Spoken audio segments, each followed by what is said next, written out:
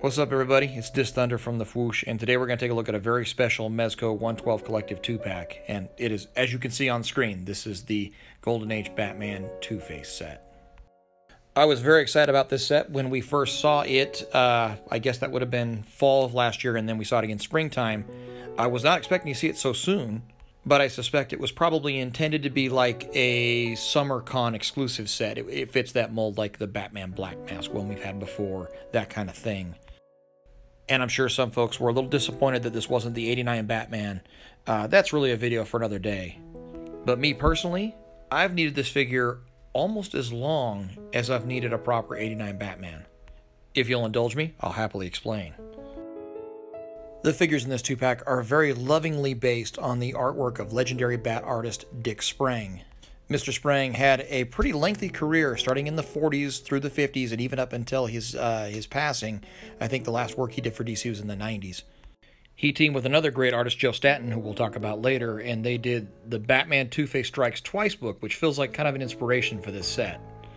And along with some other very notable gentlemen like Jerry Robinson, Gene Colan, Jim Mooney, uh, Nick Cardy, even Curt Swan for a little bit, they created this sort of house style where this is the look of Batman in all forms of media for about 15, almost 20 years. To that point, you may have heard some reviewers refer to this as a 1960s Batman, and you might have rolled your eyes, but the truth is that's not entirely inaccurate because this costume was still in print up until about 1964. And even further illustrate that, there is screen test footage of Adam West wearing a costume very much like this one for the 66 Batman series. This look didn't die with the 60s, though. This instead became the Earth 2 Batman look, who was actually a different character from the mainline continuity Batman. And his story was told by Joe Staton and some others with some beautiful artwork uh, through Brave and the Bold and All Star Squadron. I don't wish to spoil him, but he had a pretty interesting life. He got married, had a kid, oh, lots of stuff that I don't want to say here if you haven't read it. And I feel like this work inspired another favorite of mine, John Byrne, and his Batman Captain America and Superman Batman Generations books of the late 90s. And if you happen to be a Silver Age fan and you haven't read them, I do strongly recommend them. With some backstory out of the way, let's join Batman in the cave here and talk about his accessories. He comes with three free batarangs, as in they're not attached to anything, uh, one of which is telescoping. He has another batarang with the bat rope attached and the bat bolas, uh, which he actually has that and the bat rope also with a wire attached instead of the string. Being this is the Batman of the Silver Age, these batarangs can be used for just about anything you can think of. He had one for every occasion. Worthy of special attention is the rebreather, which attaches to the Stoic masks with uh, a small magnet and a pretty good form fit. I didn't notice still doing the review that actually says oxygen on the front of the mask. This would no doubt come in handy in any inhospitable environment, but I think it might be useful in the Batcopter if he wants to fly at higher altitude. Joining him at the very pre-personal computer era Bat computer, we can take a closer look at the unmasked head and cowl piece. And this head was met with some contention online when it was first shown off, and I can kind of see why. It's certainly different than most Mezco heads we've received, but again, once you know the source material, everything kind of makes sense. And the more you look at it, the more you start to love that ridiculous chin. The cowl neck piece actually really impressed me. It was even better than I would have expected. And it looks great around his neck, but I especially like it like this, uh, with it in his hands. It actually drapes really well, and has a good kind of contemplative, moody feel when he's looking down at it like this. I like this look so much, I'm worried I might have to find a period appropriate suit and jacket for a Bruce Wayne figure. Let's take a look at those mastheads in a little bit more detail. So from left to right, you have a smirking, not quite a full smile face, and then the angry one on the far right. The two in the middle, um, they're kind of hard to discern when they're on the figure. So I assume putting them side by side would help with that. And it actually does. I can tell much better the difference now. And again, these two I think are the ones that are intended for the bat rebreather. And while I appreciate how subtle that is between the two of them, one kind of almost a smile and one more of a frown, I, I can't help but wish maybe we had a full toothy grin head to go with this set, just because this is a Batman who does smile on occasion. It's worth noting that the neck attachment and the head depths of these figures are different from other Mezco Batmans, so head swap's not really an option. Moving over to the optional hands, we have a fist, a grip hand, uh, like a flight or a chop hand, and a splayed hand for each side. The blue matches the gauntlets perfectly, but hides a little bit of sculpt detail. So the grip hands are obviously my favorite, but I want to point out they actually have a notch cutout on the index finger for trigger hands. This Batman doesn't come with any triggered weapons, but it's great to have the option. And then lastly, maybe my favorite accessory is the bat communicator hidden in the buckle of the utility belt. I'll try to get a detail shot in there. It is fully painted, and it actually clips in there very securely. I almost didn't know it was there when I first got the figure. Moving over to articulation, I don't think this is a body we've seen before, though it bears some structural similarity to the Christopher Reeve Superman.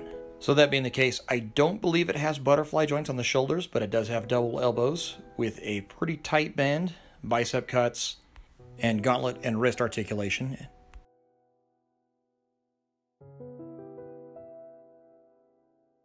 The torso articulation is very similar to the Reeve Superman. It has a very good range forward, a pretty good range back, and there is, of course, swivel at the rib cage and at the waist joint. The hips allow for a really good 90 degree bend forward, not as much out, but the double knee makes up for that for being a super tight bend. And the boot articulation is some of the best I've seen so far. The neck has the double barbell, but just at the top of the neck, not inside the torso. But I think it all works together really well and gives this Batman an immense amount of personality. So I forgot that I already went over hands. So I'm going to use this video time as an excuse to talk about his build because I think it surprised folks when we first saw the figure. We're used to our Mezco Batman being a lot bulkier than this. But like I said before, if you know the source material, that rangy barrel chest kind of slim leg build is perfect for a Batman of this era.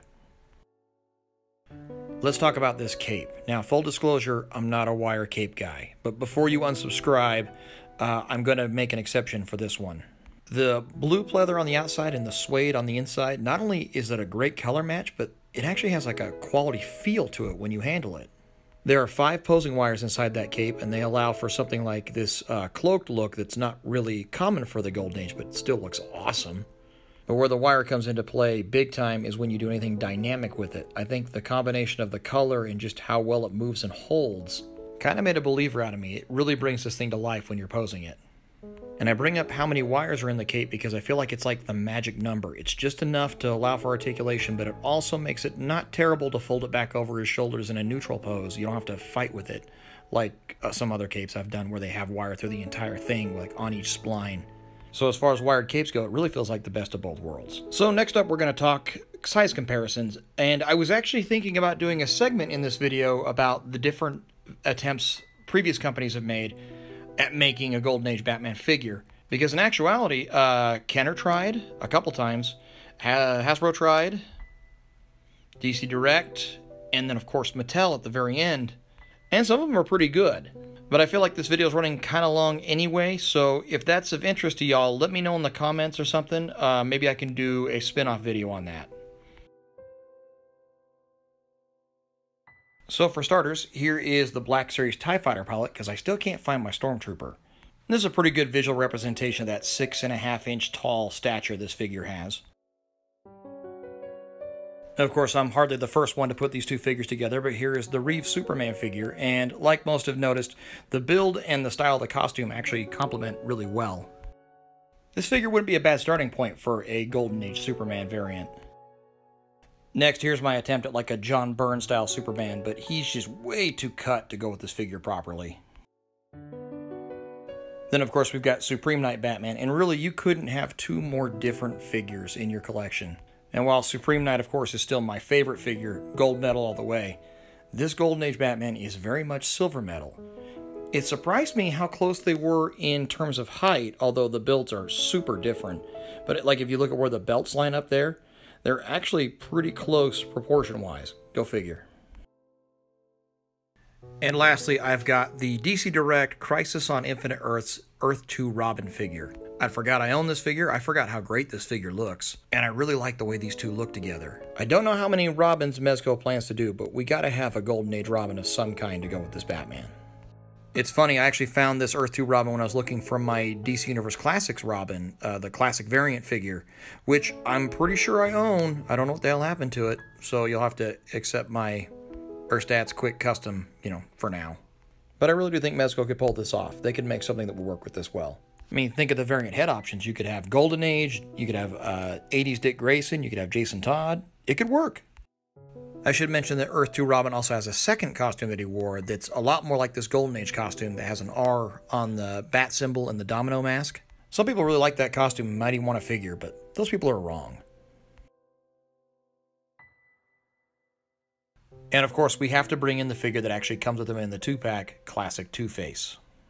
There's a couple things about this figure let's just get out of the way right now. Number one, he does share the same body as the modern Two Face figure, which really isn't a bad thing, other than the uh, single elbows. But with a suited body, it, it's not the worst thing. And for gun holding, I think it works pretty good for this figure. And secondly, because Warner Brothers is stupid, he did not come with guns. But luckily, Mattel offered an accessory pack full of Tommy guns and revolvers and double barrel shotguns to fix that problem. So the big differences on this figure are, of course, the suit and the head sculpts. And I have to tell you, I really like the red and black of the modern, but this checkered purple and orange suit that he's wearing on the classic figure is just striking as all hell. I really like it. In fact, if you had missed out on this modern Two-Face and you were only able to get this two-pack, I don't feel like you're missing out much at all. And depending on when you start reading comics, you might prefer him with that classic green scarred face as opposed to the red anyway. If you do own that previous Two Face, or you own Netflix Punisher, or even John Wick, you have a pretty good idea of what this body can do. It's not bad. Like I said, the single elbows are probably the biggest offender, but it holds a pretty good silhouette, looks good with the jacket on, and it can hit most poses pretty well. It feels quality at least, which is always a good thing. And like Modern Two-Face, I do feel like this body has received some upgrade um, since they used it for Netflix Punisher. I also really like the belt and the shoe details. Likewise, you'll recognize the hands he comes with, uh, only difference being he now wears gloves on both sides to match the jacket. He comes with two very necessary and not at all inappropriate trigger fingers. I have him here, of course, with the right hand for the trigger grip and then a support hand on the left. We see a return of those coin holding hands. He has a couple flipping hands. He has a couple where it lands on the top of his palm. Try to get a little detail. They actually did sculpt the face of the coins on these like they did on the original Two Face. And I think I mentioned it then, but I really like that they did this because I am so going to lose the coins he comes with, so at least I'll have some options left. I think the one where he's rolling it between his fingers is still my favorite. One thing that I'm really liking about this Two Face already that may not have occurred to everybody else yet is when we get that Dick Tracy two pack, which to my knowledge hasn't been solicited yet, he is going to look amazing getting all chummy with Flattop. One of the accessories that I wasn't expecting is an option for an unscarred Harvey Dent alternate head. In fact, when the modern one came with one, I liked it so much I made him an extra suited body just to keep it on. I think it's interesting that if you look at them side by side, the facial structures seem kind of similar. It's mostly just the eyes and the hairstyle that are changed, and that's actually a good way in general to make a figure look more golden age. It's also nice to see a return of his coins, his coin flipping effects, and his extra knives for accessories. Since we had to buy the guns separately, it's nice to have those options.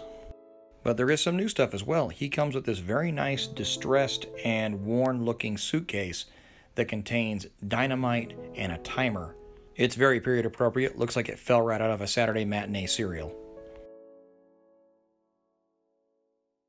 You know, looking at these two in their shirts and ties here, I can't help but notice just how good that classic suit looks. It looks like it walked right off the page of the comic books.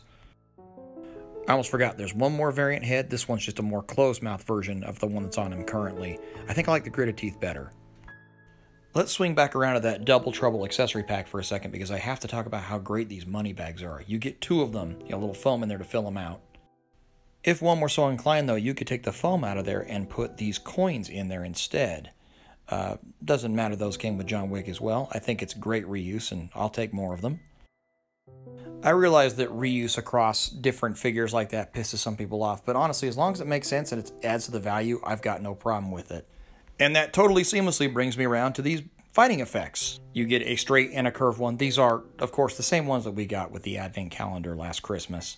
And I'm sorry to say, I have gotten no better with them. I still don't quite know how to use them in my photography. Oh, they also come with the little POW effects that will slide on there, which I am also terrible at. And like I said, I've seen other people do neat stuff with them, so while they're not maybe the most useful for me, I don't begrudge their inclusion in the slightest. One thing I am pretty good at incorporating though is loadouts. So we're going to pivot back one more time to the Double Trouble accessory pack, talk about what guns go best with Two-Face. And obviously the M1928 Thompson is the first and foremost go-to with its drum magazine, Cutts compensator, and angled foregrip. For his secondary, I like this breech action sawed-off shotgun he's got with the dual barrel and working breech.